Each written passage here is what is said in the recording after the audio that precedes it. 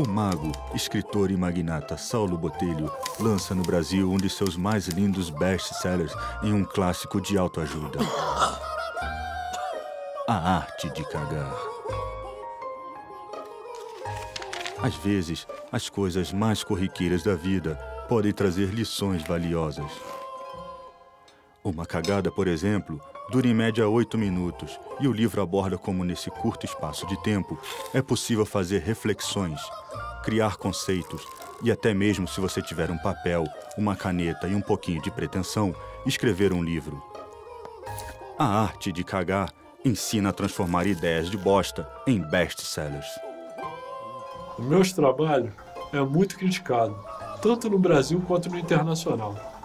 Mas quando dizem que os livros que eu escrevo são ruins, eu só tenho uma coisa a dizer. Meus livros podem até ser uma merda, mas eu tô cheio do dinheiro.